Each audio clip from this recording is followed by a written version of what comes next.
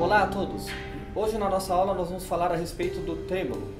O trêmulo, a técnica do trêmulo é um dos terrores dos músicos, dos violonistas em especial. Vários músicos violonistas fogem desse tipo de música que tenha é, essa técnica. Sim, mas é algo que nós devemos treinar também e que várias músicas clássicas do, do repertório do instrumento utilizam essa técnica. A mais conhecida provavelmente é a de Francisco Tárrega, Recuerdos de Alhambra. Sim? Para essa aula eu estou utilizando então a corda Dadário Pro Arte Dynacor, que foi feita, que eh, os, as primas eh, são utilizadas uh, o material de titânio. O, a, a, técnica do trêmulo não é exclusiva do violão, ela aparece também em outros instrumentos, eh, como o, o, o, violino, né? e serve, no caso do violão, para nós prolongarmos o som que nós queremos. Porque, por exemplo, quando nós tocamos uma corda do violão, nós temos um ataque inicial e esse som ele vai diminuindo. Então o trêmulo ele vai prolongando esse som fazendo uma espécie de vibrato, como a voz. Sim? Então é, esse recurso seria então viria para suprir uma deficiência do violão, que seria é, é, um, não uma deficiência, mas talvez uma característica, que seria prolongar o som é, de um instrumento que quando nós fazemos esse som, esse som ele diminui então de uma forma muito rápida.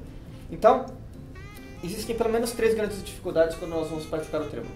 Seria o, a coordenação dos dedos, quando nós tocamos muito rápido, então é, há essa, é, esse descontrole do, do dedo, né? O salto entre o polegar, né?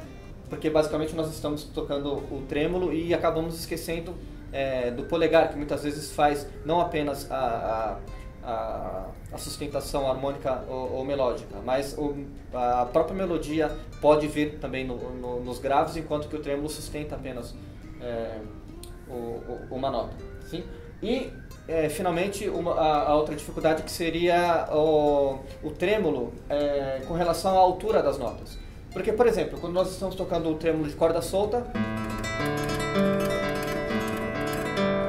está com uma determinada altura, mas quando nós tocamos com uma corda presa, a corda então vai ficar mais baixa é, quando nós é, fazemos o ataque da mão direita.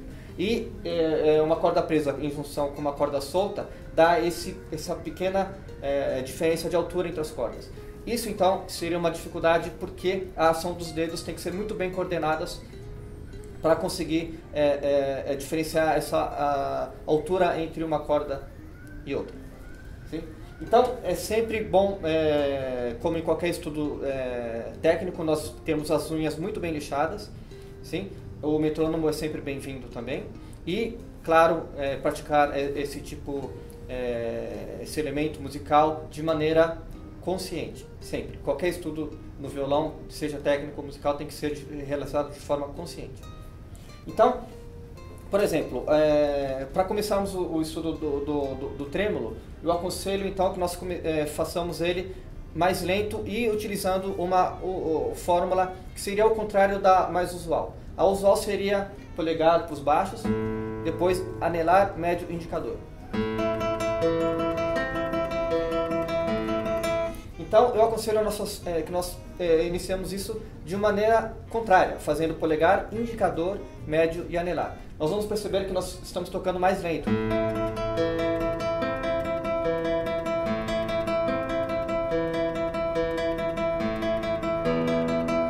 Sim? Após termos esse elemento bem praticado, nós então invertemos para a posição que seria a mais normal, P, A, M, I. Então nós vamos conseguir controlar então melhor o som sem atropelarmos a, a, a, as notas por causa da velocidade que nós é, atingimos. Sim? Então isso é sempre de maneira é, mais lenta inicialmente e é, acelerando aos poucos para é, até atingirmos a velocidade que nós queremos. Sim? Então depois disso um outro elemento seria a, o salto do polegar. Sim?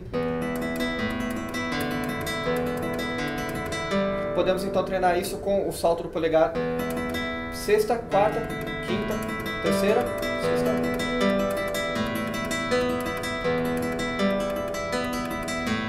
Sempre então fazendo esses saltos porque o, o, polegar, que é um, um, dos elementos que nós acabamos não percebendo tanto quando nós vamos fazer o, o exercício da, do, é, é, do trêmulo, por estarmos tão ligados então na, na digitação da mão direita. Então, além dessa digitação básica de P, A, M, I, nós podemos então fazer outras digitações, como aquela que é mais conhecida no flamenco, que seria P, I, A, M, I.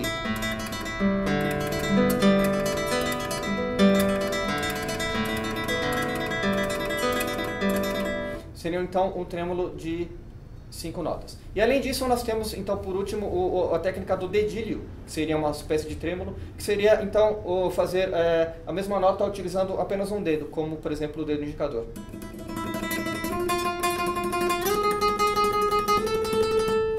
Essa, essa técnica dentro do violão clássico é utilizada mais em peças modernas. Então é isso. Treinem sempre de forma consciente, e é, fazendo um aquecimento e alongamento dos dedos antes da, do exercício técnico. Muito obrigado, até a próxima aula. Agora um exemplo de trêmulo, que seria uh, talvez o exemplo mais conhecido dessa técnica, que seria a Recuerdos de Alhambra de Francisco Tarri.